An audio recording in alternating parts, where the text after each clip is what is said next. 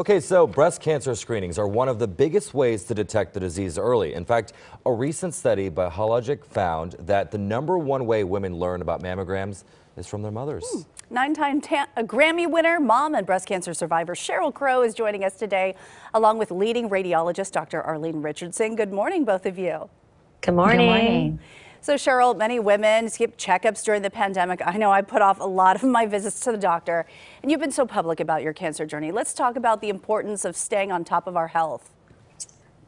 Yeah, so in 2006, I was 44 years old and I had no family history. I was completely healthy. I mean, I ate well, just exercised all the time.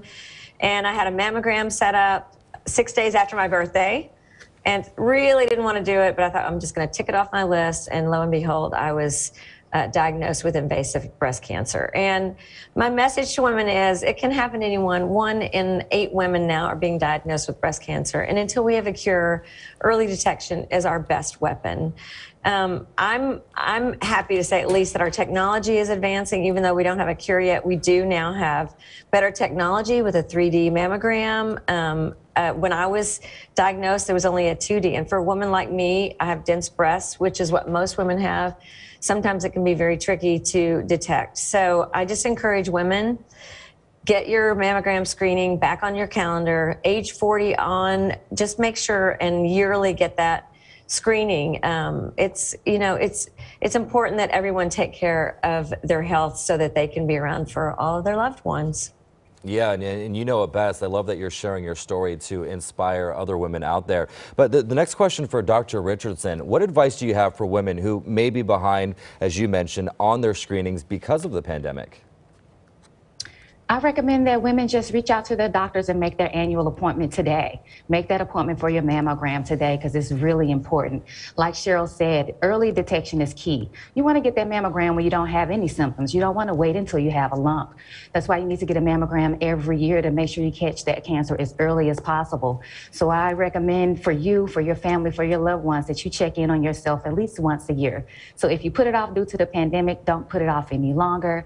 Just call your doctor and make an appointment. If you want to find a mammogram near you, you can visit genius3dnearme.com and find a mammogram near you. So make an appointment and put yourself a priority today.